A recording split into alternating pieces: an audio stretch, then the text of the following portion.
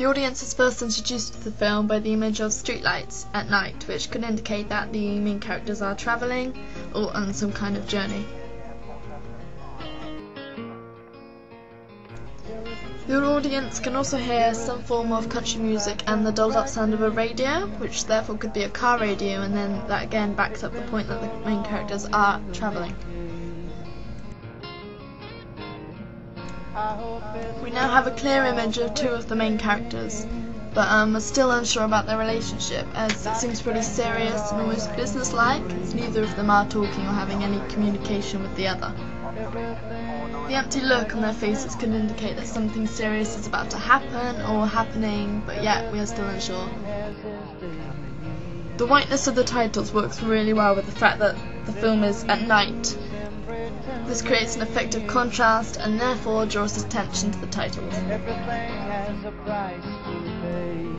The characters still have a solemn look on their face and have not yet actually communicated between each other. This is beginning to support the idea that something bad has definitely has happened or is happening. Mid shots and close up shots are the only main camera angles being shown at the moment. We're all focusing around the characters in the car and not the environment. So we don't still don't know where they are, whether it's really all we really know is that they're travelling along a road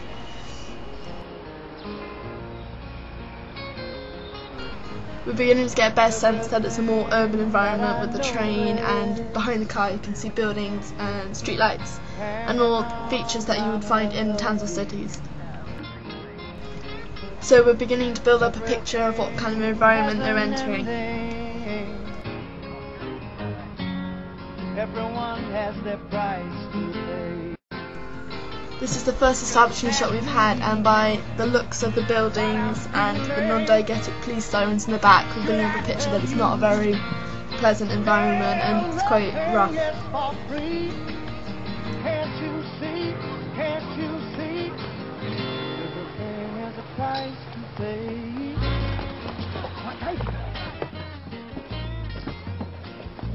This Vince, is there going to be any aggravation? Well, I see this geezer banging one because we was trolling in the supermarket. Vince had his ear up for standing on it. Our main characters look completely out of place in this environment, especially with the accent of the guy that has approached our main characters and the ripped posters. It seems that they are definitely there on some kind of business, which could be supported by the fact that both of our main characters are wearing suits.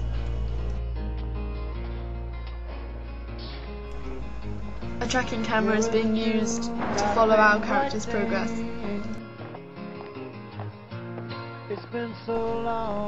The audience now has a clear representation of the environment our characters have entered as quite a rough, poor environment. By the way our main characters are acting around this door, it's obvious that they don't know the person inside and it is just purely business. The first person view here through the spy hole is an effective oh, shot that adds a greater sense of reality to the film. The tracking camera used here follows our characters' movements throughout the flat and brings the audience into the film as if they are following on behind. The filthy atmosphere of the flat again supports the idea that it's quite a rough location and area for our characters who are dressed in suits as if they're businessmen to be in. The darkness and jolty camera shots are a representation of the chaos that is happening. Someone should tell you this. Mate! The camera zooms in twice here to show which each different character is holding. Again, here's a close-up shot of what the character has found, which appears to be what he was looking for. This sense of authority immediately shows the audience which character is boss. Close-up shots are used here to show each character's reaction to each other. This character seems quite scared and almost terrified of our main character, as the main character himself doesn't seem bothered at all by the events that have just happened. We're part of the new graduate intake, sunshine. Indicating that this could be an everyday occurrence for our main characters.